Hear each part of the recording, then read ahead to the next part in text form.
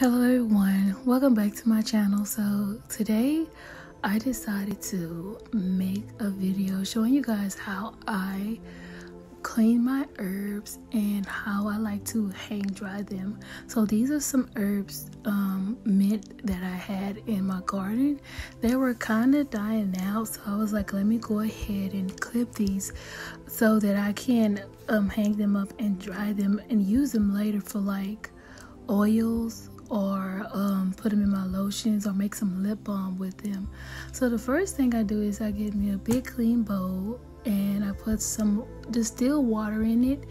Um, and then I go in into merging my herbs inside the water and just letting it sit for a minute and you want to make sure you get all the dirt all the bugs everything off of the herbs um, you want to clean it really good. So this is basically how i just clean my herb. there's no fancy way of how to do it. This is just how i do it. And there's a lot of different method when it comes to drying herbs and um i prefer this method.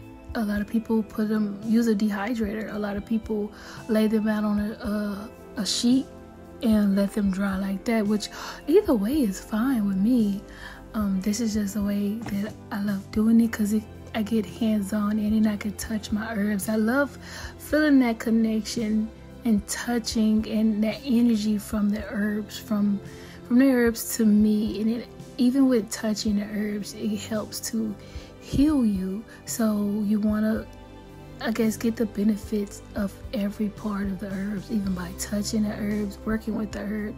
It's somewhat therapeutic um, and it's relaxing too. And just to see your herbs just being hung up.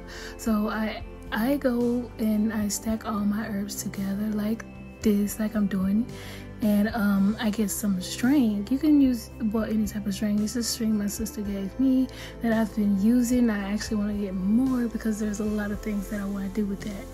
So you just take a, um, a piece of the string off and you would tie it around the end of the herb. You don't want to put too compact too many herbs together because it'll be I guess thick and the air won't be able to get to all parts of the herb. So you don't want to do a lot uh, in one bundle. This is just a really small bundle that I use and this is my mint and this is how it came out. And you want to put it in a um, a room that does not have a lot of light because sunlight can actually damage the herbs and the medicinal properties within the herbs. So you want to make sure you're putting it in a room with not a lot of light. Um, I want to thank you guys so much for watching and please subscribe to my channel.